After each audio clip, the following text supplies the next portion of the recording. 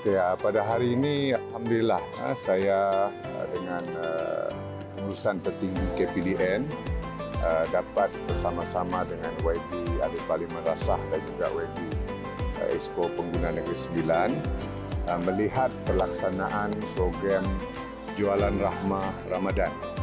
Sepanjang bulan Ramadan ini KPDN menganjurkan apa yang dinamakan program PJR Ramadan kita sasarkan PJR Ramadan ini sebanyak 450 siri uh, sepanjang sebulan bulan Ramadan.